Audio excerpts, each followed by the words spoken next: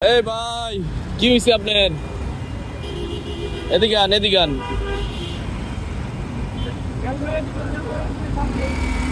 এত দামি গাড়ির তেল শেষ হ্যাঁ? আর ওয়ান ফাইভ এদিকে এদিকে, এই যে সামনে নিয়ে আসেন।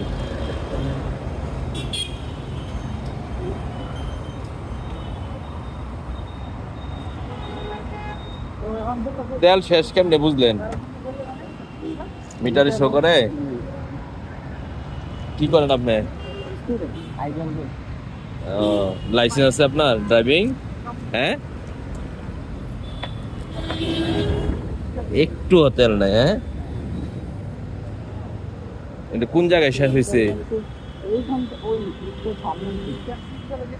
কোথায় গেছিলেন? ও আচ্ছা আচ্ছা। ঠিক আছে রাখেন আমি আমি দেখি একটু আপনাকে তেল দিয়া পাম্প বন্ধ দেওয়ার ব্যবস্থা করি নাকি? হ্যাঁ? করলে ভালো হয় আর কি। আচ্ছা। সমস্যা হ্যাঁ? ওইখান থেকে ঠেলে ঠেলে আসতেছে উল্টা রোড না এই জন্য প্রবলেম হয় ও আচ্ছা। ঠিক আছে রাখেন। আর একটু সামনে আগে দেন।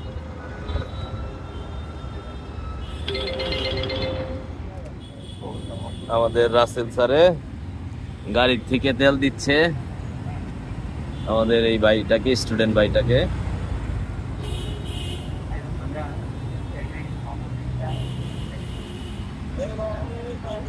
হ্যাঁ? এই যে এটাতে আসাদ গেটে যাও। হ্যাঁ। দেখো স্টার্ট হয় কিনা।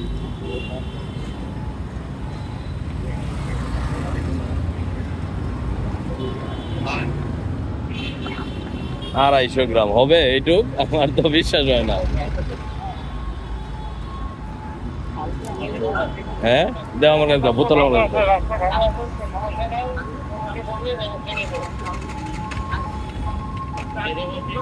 তাড়াতাড়ি দাও ভাই।